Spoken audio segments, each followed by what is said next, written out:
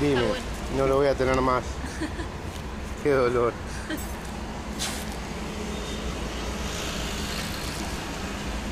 Realmente lo aprecio. Es para qué estudiantes se venden de comunicación.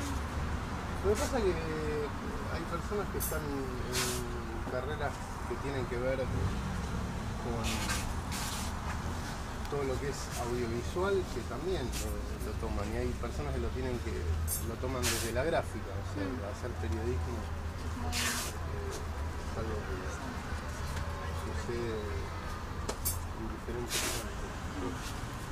Así que te sorprendió que adivine que fuiste a una escuela religiosa. ¿Pero por qué te sorprendió?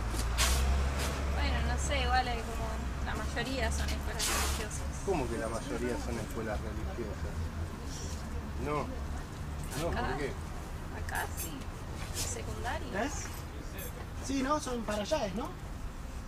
Para que Pero bueno, Entonces después no te sorprendió. Ah, Lo que primero te sorprendió y después no te sorprendió.